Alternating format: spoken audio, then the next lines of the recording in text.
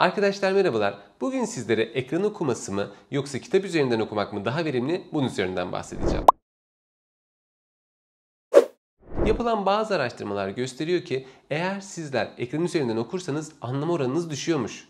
Ama yine benzer araştırmalar başkaları tarafından yapıldığında gösteriyor ki kitap okuduğunuz zaman anlam oranı düşüyormuş. Çünkü burada farklı denek gruplarına göre bakıldığı zaman farklı sonuçlar ortaya çıkabiliyor. Ama yapılan bütün bu araştırmaların sonucunda ortak bir kanı var. O da okuma becerisinin geliştirilmesi için gereken bazı tekniklerin aynı olması. Şimdi öncelikle kitap okuması ve ekran okuması üzerindeki farklılıklara bakalım.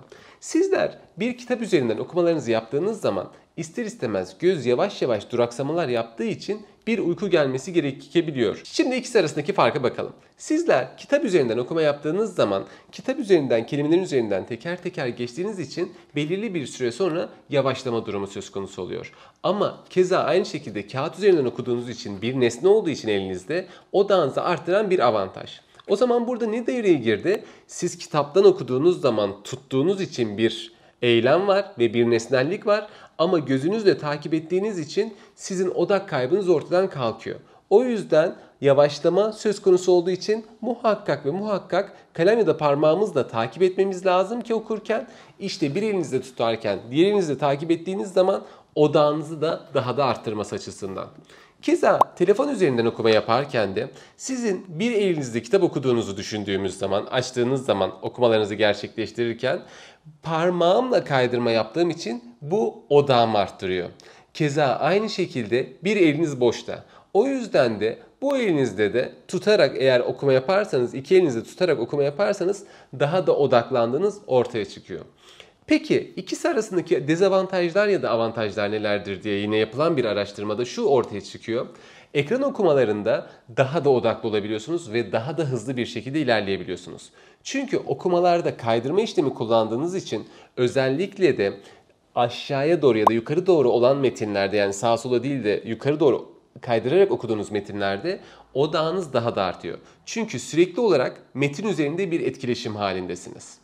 Ama aynı şekilde kitap üzerinde okumalarınızda da satır üzerinde kaydırma yapmamız lazım. Bilirsiniz TikTok ve Instagram arasında şöyle bir rekabet vardı eskiden. TikTok yukarı doğru kaydırırken Reels sağa sola kaydırıyordu. Sonrasında onlar da yukarı doğru kaydırmaya başladı. Çünkü göz, beyin ve parmak arasındaki ilişkiden dolayı. Bunu yapma işlemi daha hızlı hareket ve daha hızlı tüketme sağladığı için odağınızı da daha iyi arttırıyor.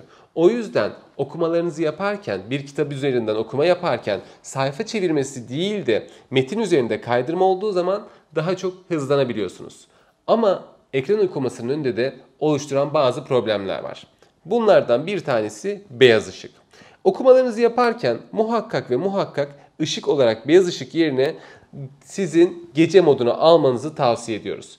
Gece modunuzu aldığınız zaman daha sarı bir ışıkla okuduğunuz için gözünüz beyaz ışık ya da mavi ışığa çok fazla maruz kalmayacağı için yorulma oranınız da düşecektir. O yüzden de odağınız daha az bozulacaktır ve daha odaklı bir şekilde ve gözünüz daha az ağrıyarak okuyacaksınız. O yüzden kitap okumalarınızı yaparken eğer ekran okuması yapıyorsanız bunu 15-20 dakikalarda bir aralar vererek okumaya devam etmeniz lazım ve aynı zamanda da sarı ışık etkisiyle okumanız lazım.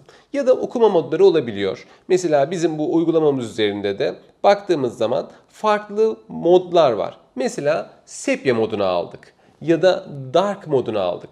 Bu tarz ayarlar sizin için nasıl fayda sağlayacak? Gözünüzün çok fazla yorulmadan okuma yapmanızı sağlayacak. O yüzden bu tarz okumalarınızı ekran okumalarında değerlendirebilirsiniz. Kitabımızı elimize aldığımız zaman da kitabımızda zaten kağıt üzerinden ilerlediğimiz için böyle bir sorunumuz yok. Ama dediğim gibi iki elimizde tutarken elimizin bir tanesini takip için kullanmamız odağımızı arttıracaktır. Çünkü odağınızı sizin kelimeler üzerindeki duraksamalar bozduğundan dolayı hareket kapasitenizi arttırarak bunu sağlamamız lazım. Kitap okumalarını yaparken ise aslına bakarsanız şimdi satır satır ilerlerken bir sorun yok ama belirli bir süre sonra yavaşlama oluyor gözünüzde takip ettiğimiz için. O yüzden kalem ya da parmakla takip etmek bu odağı arttıracaktır. Şimdi ekran okumasını yaparken bir ışık olduğu için daha odaklı ilerliyorsunuz ama çok uzun süreli okumalarda uyku gelmesi yapabiliyor. Ama kitap üzerinde de herhangi bir ışık olmadığı için odak kayıpları ilk başlarda olabiliyor ama göz yorulması çok fazla olmuyor. O yüzden kitabınızı okurken arkadan bir ışık vurmasını sağlamanız çok önemli ki odağınız bozulmasın ve gözünüz yorulmasın diye. Yani ekran okumalarında gündüz ışığı ya da ekranınızı sarı ışığa çeviriyorsunuz. Yine kitap okumalarında da ışığı arkanıza alıyorsunuz ki daha odaklı bir şekilde gözünüz görebilsin ve gördüğü karakterleri hızlı bir şekilde algılayabilsin.